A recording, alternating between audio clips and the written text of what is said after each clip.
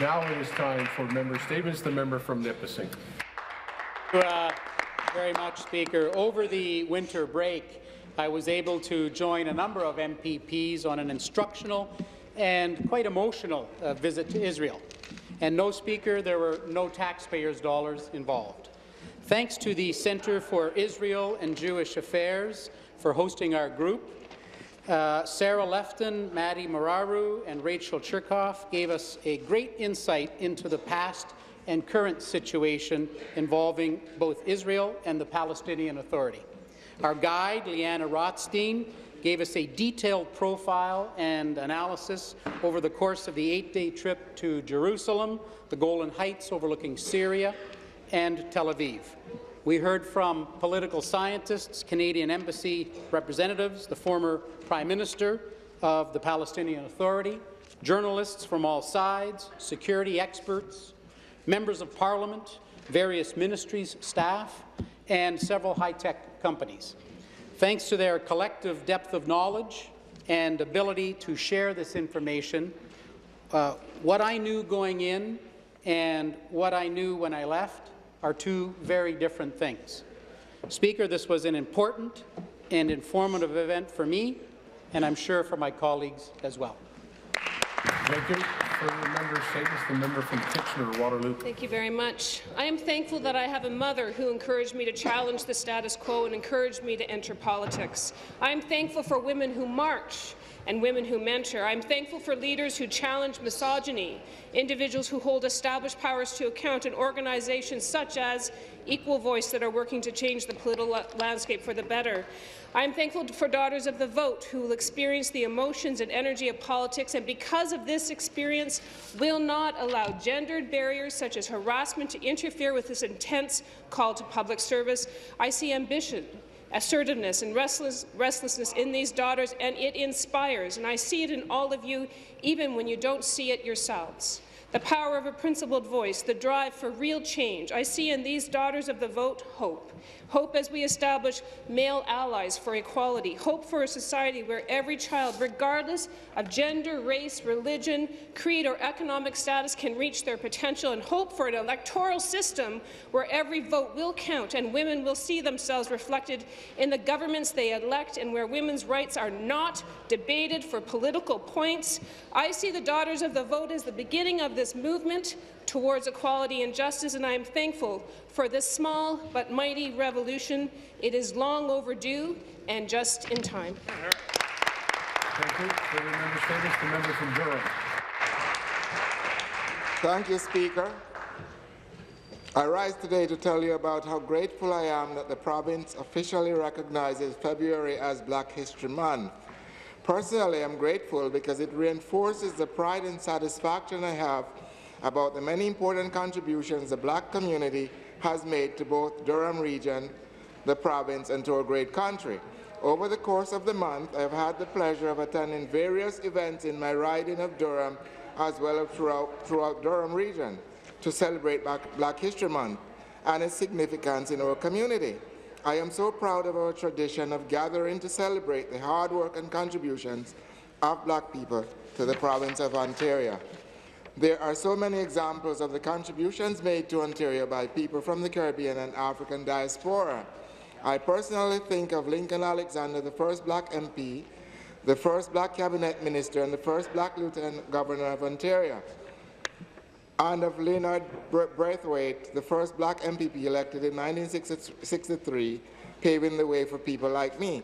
From the cultural perspective, our community has a, such as the Jamaica Canadian Club, Cub Carib, UIT, African Student Association, to name a few, who have done so much to celebrate the vibrant black culture we have had in the riding of Durham.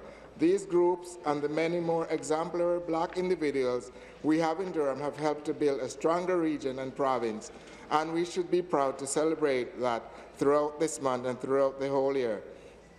And for the rest of the year, Mr. Speaker, thank you very much. Thank you. Further member statements. The member from Lambton Kent, Middlesex. Well, thank you, Mr. Speaker, and Kung Hei Fat Choi.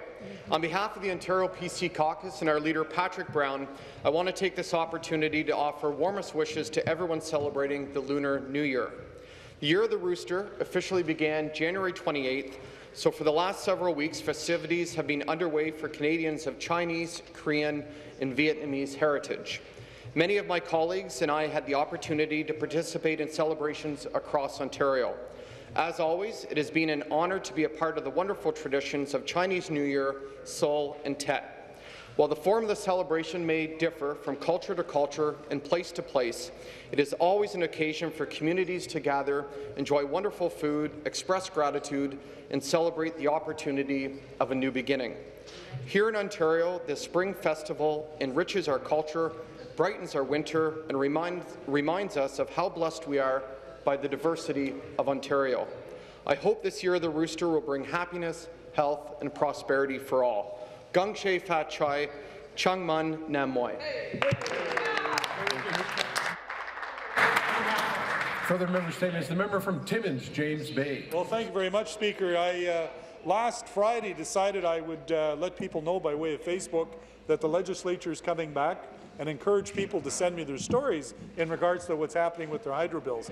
Mr. Speaker, it is unbelievable. It's just the uh, the, uh, the the anger that people express when they're communicating their frustration with hydro is beyond the pale. But I, I'm not going to read word for word, but there's a couple that I thought I would share. One is one particular individual says, you know, aside from what's happening in his house where his hydro bill has gone up in price, he's a volunteer in the Kamiskotia Ski Hill.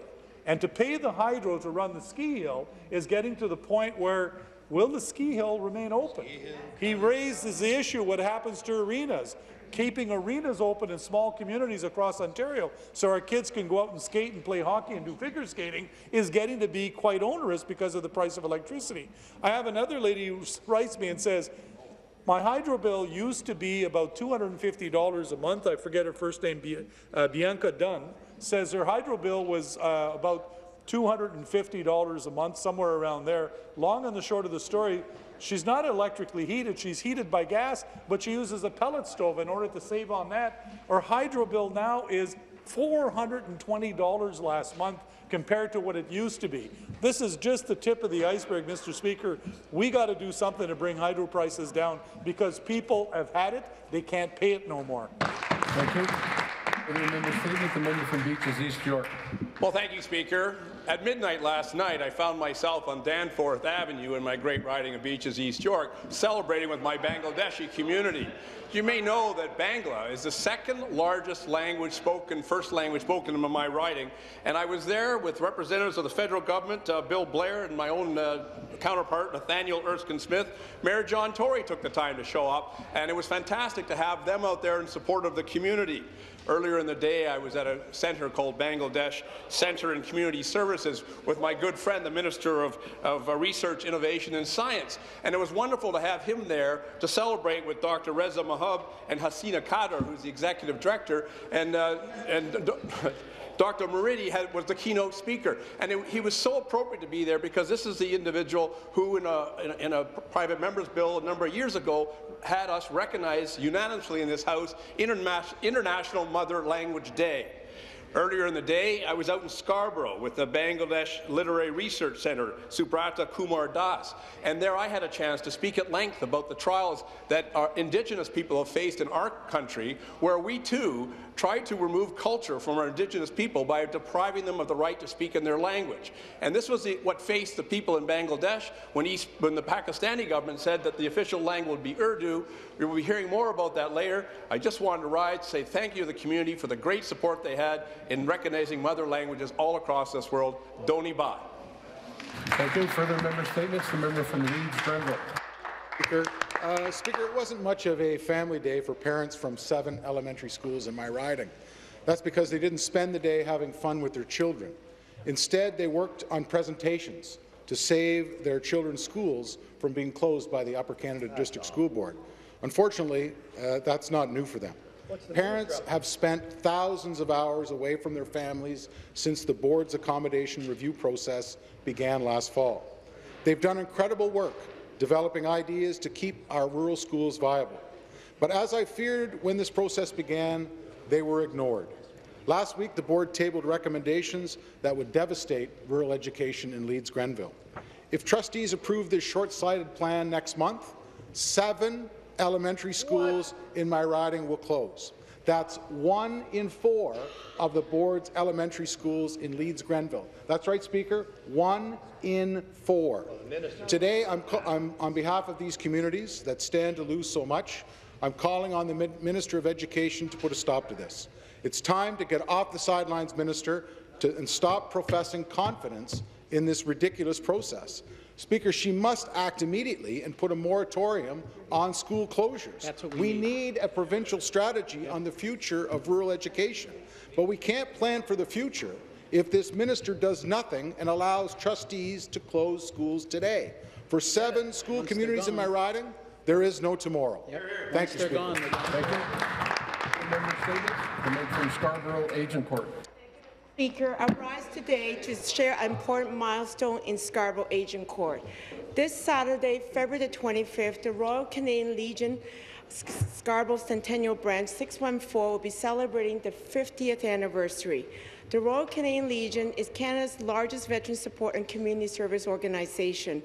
With over 400 branches across Ontario alone, the Royal Canadian Legion advocates on behalf of veterans, including serving military and RCMP members. Since 1967, Branch 614 has been a central community partner in providing support for Scarborough veterans, and many of whom valiantly served Canada in World War II. Branch 614 is over 400 members strong and one of the most diverse legions in Canada. I recently met with the veterans who served under the British in Hong Kong during Second World War. They include John Fung, the chairman of the Hong Kong Ex-Soldiers Association, and Vice Chairman Chin Tam. Mr. Speaker, for over 30 years, Branch 614 has collaborated with other Scarborough Legions in donating over $100,000 to support Scarborough Hospital.